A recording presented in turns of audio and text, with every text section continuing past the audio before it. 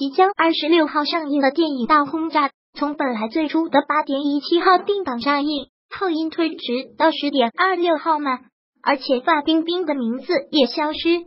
据说这个欺骗令会获了十多亿上海老百姓血汗钱的项目是如何过五关斩六将？不过后面有大批的中国人民支持者崔老师，崔老师的正义担担心他的人身安全。